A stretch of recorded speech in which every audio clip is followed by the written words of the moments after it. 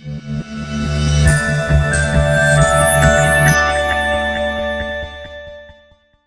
Hello வணக்கம் மக்களே. இன்னைக்கான சினிமா அப்டேட் யாரை பத்தின்னு சொல்லி பாத்தீங்கன்னா ஒரு சின்ன வயசுல ஒரு பையன் இவ்வளவு பெரிய சாதனை பண்ணியிருக்கான். அந்த பையன் வேற யாரும் இல்ல. ஒரு பிரபல நடிகரோட பையன் அவருக்கு குவிது பாராட்டு. அதை பத்தி தான் டீட்டெயிலா தெரிஞ்சுக்க போறோம். வாங்க வீடியோக்குள்ள போலாம். அஜித் நடிப்புல இப்ப தற்போது விடாமுயற்சியில படம் உருவாக காத்துக்கிட்டு இருக்கு இது நம்ம எல்லாருக்குமே தெரிஞ்சிருக்கும். இதன் இடையில வந்து சற்று ஓய்வு எடுக்கிற அஜித் வந்து இப்ப பைக் சுற்றுலாலாம் நிறைய வெளியே போயிட்டு தான் வந்துட்டு இருக்காரு அதுக்கான நிறைய போட்டோ கிளிக்ஸும் வந்து வெளியே வந்துகிட்டு தான் இருக்கு. அது சோஷியல் மீடியால நிறைய வைரல் ஆகிட்டு இருக்கு சினிமால எந்த அளவுக்கு அஜித் வந்து பிஸியா இருக்கிறாரோ அந்த அளவுக்கு அவரோட குடும்பத்துக்குடைய நேரத்தை அவ்வளவு அழகா செலவு பண்ணுவாருங்க. இப்படி ஒரு டாப் ஆக்டர் வந்து ஃபேமிலி கூட டைம் ஸ்பெண்ட் பண்ணுவாங்களா நிறைய பேர் கொஸ்டின் இருக்கும்ல. இவர் வந்து அதுல கொஞ்சம் தனிப்பட்ட நபராகவே இருக்காருன்னு தான் சொல்லணும். ஏன்னா குடும்பத்துக்கு கூட கண்டிப்பா எந்த அளவுக்கு பிஸியா இருந்தாலுமே இவரு டெய்லியும் வந்து டைம் கண்டிப்பா ஸ்பெண்ட் பண்ணிட்டு வராங்க அதாவது நடிகை ஷாலினியை வந்து காதலிச்சு கரம் பிடிச்சவர் தான் நம்ம அஜித் அவர்கள். இவருக்கு ஒரு மகனும் ஒரு மகளும் வந்து இருக்காங்க. இவங்க இத்தனை வருஷமா சந்தோஷமா தான் வாழ்ந்துட்டு வராங்க இந்த நிலையில அப்பாவும் அம்மாவும் எப்படி ஒரு சாதனையாளர் ஆனாங்களோ அதே மாதிரி அவரோட மகன் ஆத்விக்கும் வந்து இப்போ ஒரு சாதனை பண்ணிருக்காரு அதாவது சமீபத்துல மும்பைல நடந்த ஃபுட்பால் கிளப் கேம்பிளிங்ல வந்து இவரும் பங்கேற்றுக்கிட்டு இருந்திருக்காரு. இதை தொடர்ந்து இப்ப இவரு சென்னை எஃப்சியோட ஜூனியர் அணியில